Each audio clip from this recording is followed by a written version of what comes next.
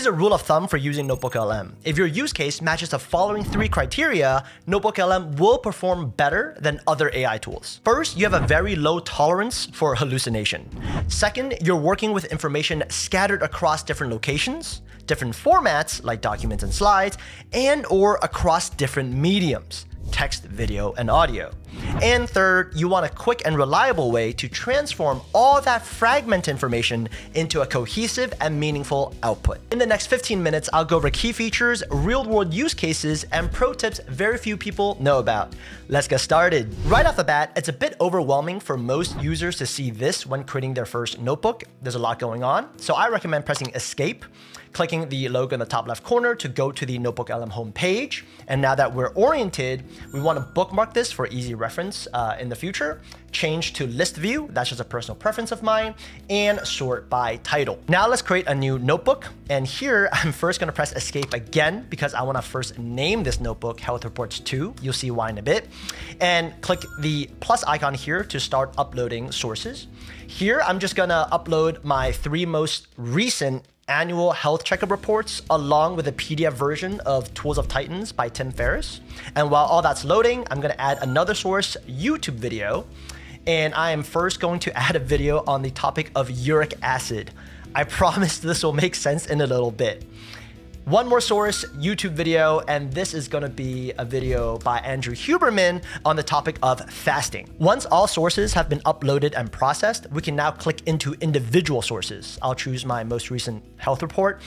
Um, and I'm gonna blur this to not overshare, but ladies, just know that I'm at peak physical health. And under source guide, we see that Notebook LM has produced a concise summary of a dense medical report I would definitely not have read word for word. On the right, clicking into one of the key topics like abnormal results here actually prompts Notebook LM to expand on that topic based on all the selected sources on the left hand side, even though the key topic was just from one source, right? So that's the first important thing to keep in mind. Everything in this chat interface takes into account all selected sources. Meaning if we want Notebook LM to ignore a source, we need to first deselect it from the source list. By the way, don't worry about me. The only abnormal result from my health reports is my absolutely huge capacity to make dad jokes. The notebook guide feature down here is like a quick start guide for beginners. There's a summary of all the sources added to the notebook, pre-created templates like FAQs and briefing docs that are very situational. I'll give examples later, and suggested questions here to help users get started. And don't worry, we'll also go over audio overviews today. All right, we're gonna start interacting with the notebook, but since the answers take a while to generate, I'll switch over to the actual health reports notebook I've been using. First, I asked for the top 10 health trends based on my last three reports, a pretty time consuming task even for doctors, right? But just after just a few seconds, Notebook LM just gives me a list of 10 observations, one of which is the fact that I've had elevated uric acid levels over the last three years, uh, which is unfortunately true because I eat a lot of red meat. And because I added a video on uric acid as a source, I can now ask, what are the top three things I can do to lower my uric acid levels? I'm told I can do these three things, okay, but just to be safe, what exactly did the video say? Clicking the inline citation brings up the video transcript, and Dr. Berg says uh, potassium citrate can knock out uric acid pretty fast. Okay, nice. Now, pay attention to this next part because I got burned by this. Whenever you see a good output you want to refer back to, click Save to Note. If you don't do this, the output disappears the next time you reload the notebook. According to Google, this happens because Notebook LM is not trained on any of the data that we upload, including our conversations. Meaning if we close a chat without saving the note, all that data disappears. Next, I fast for 36 hours every week, and since both the Huberman video and Tools of Titans talk about fasting, I can ask, hey, does anything from my health reports suggest I shouldn't fast for 36 hours every week? And again, Notebook LM does a great job sharing context, telling me my blood work is normal and I can continue fasting with no issues. Without Notebook LM, yes, I can obviously go through the exact same information and draw my own conclusions, but that's very manual, very very time consuming, and I might miss key information. In contrast, NotebookLM is able to quickly and efficiently reference multiple sources, connect the relevant dots, and produce a good enough output in significantly less time. Finally, I'm going to throw a curveball and prompt this notebook with, what do the sources say about incorporating deload weeks into my workout routine?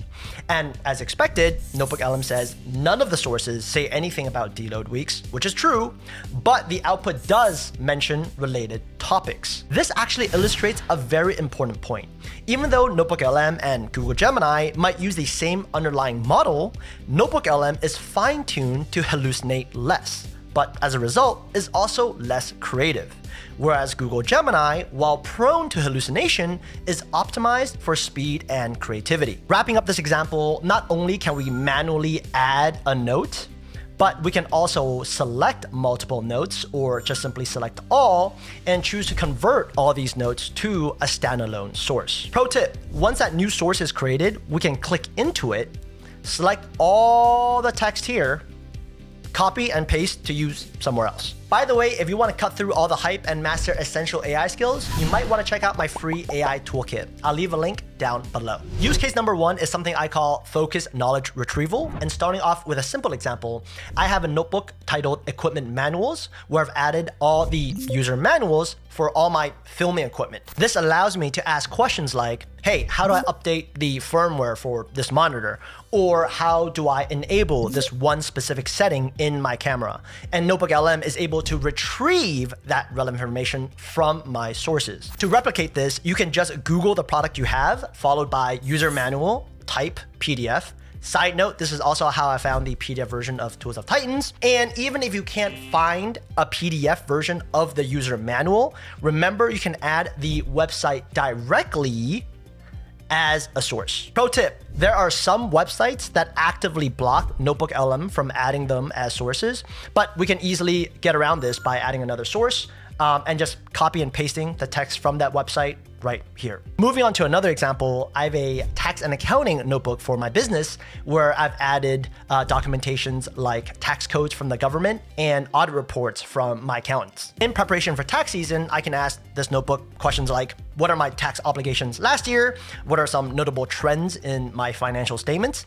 And very personalized questions like, hey, do I qualify for offshore tax exemption since I travel a lot? Last example for this use case. Since I interview candidates as part of my full-time job, I have a recruiting notebook. This is just an example where I add sources like guidelines from HR, performance rubrics, question banks, uh, candidate resumes, and interview notes. I can now prepare for these interviews more effectively by asking questions like, hey, what are the key achievements and relevant skills of this candidate based on their submitted documents?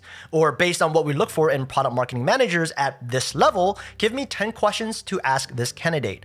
And what are the key strengths and areas for improvement for this candidate based on the interview notes? Pro tip, if you try this yourself, remember to only select the documents from the candidate you're currently interviewing, or else Notebook LM might incorporate information from other candidates as well. Next up, we have the project context engine use case. Put simply, I have a notebook for each project I'm responsible for at work, and I add meeting notes, project plans, and documents from similar projects as sources. Side note, project and program managers benefit massively from Notebook LM because by definition, their job requires them to one, work with information scattered across different locations, and two, synthesize that information in an easy to digest format. And Notebook LM is designed to do exactly that. Remember the suggested templates found under Notebook Guide? Well, here we can take that a step further to create perhaps a high level briefing document for senior leaders um, a campaign timeline to make it easy for us to create a slide to visualize those key milestones,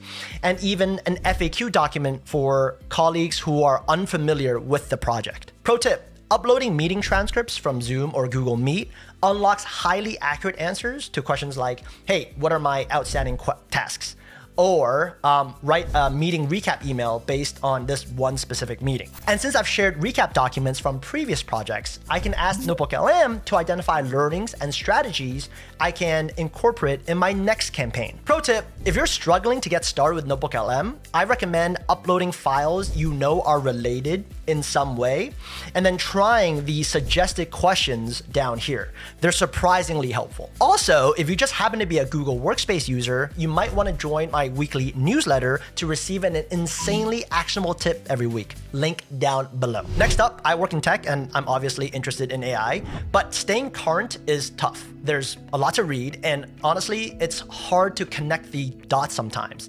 Like, for example, what are the implications of this big meta announcement for the rest of the industry? My solution was to create an earnings analysis notebook with earnings reports from tech companies, along with articles from tech analysts that I've compiled in a Google Docs format. You'll see why that's important in a bit. Now, with Notebook LM doing the heavy lifting, I can ask very targeted questions such as What is Google's monetization strategy with regards to AI? And I get this structured list. And I can also ask broader questions like How do AI strategies differ for Google, Meta, Amazon, and Apple? And it's actually amazing how Notebook LM first shares a one sentence catchy summary Google, enhance, expand, and explore. Meta, AI for everything, everywhere before expanding on their respective strategies. And because I enjoy listening to podcasts during commutes and workouts, I can ask Notebook LM to generate a personalized podcast episode by clicking Customize Audio Overview and providing specific instructions like focus on how earnings from one company affects its competitors and assume the listener has zero technical background. It's like they're taking a page from Meta's book, right? Yeah. Instead of trying to invent some whole new AI thing, they're making their existing products better, more powerful, and more profitable. Yeah, it shows that AI isn't always about replacing everything. Sometimes it's about improving what we already have. And Meta seems to get that. Pro tip, when we add a Google Doc or slide as a source, we can click in and then we can click here to resync the file after changes are made so that we're always drawing from the most up-to-date information. A few final thoughts I want to leave you with. First, although Notebook LM rarely hallucinates, it's not optimized for creativity. So I found myself taking Notebook LM's outputs and using Gemini or Claude to produce that final deliverable. Second, the amount of information Notebook LM can absorb is massive, around 25 million words per notebook. And that's compared to around 500,000 words for Gemini, 100,000 for Claude, and 64,000 for ChatGPT. And even though we're capped at 20 sources per notebook, we can simply combine multiple documents into one file. And third, this might be an obvious point, but with a tool like Notebook LM, the quality of the sources becomes extremely important. Using articles from well-established publications is going to give us much better outputs than low quality, clickbaity blog posts. I have a lot more use cases to share, so let me know if you want more content like this. In the meantime, check out my AI playlist, and as usual, have a great one.